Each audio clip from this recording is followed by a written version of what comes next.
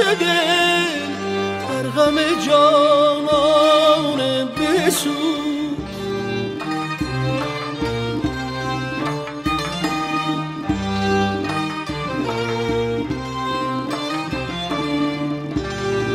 آتشی بود در این خانه که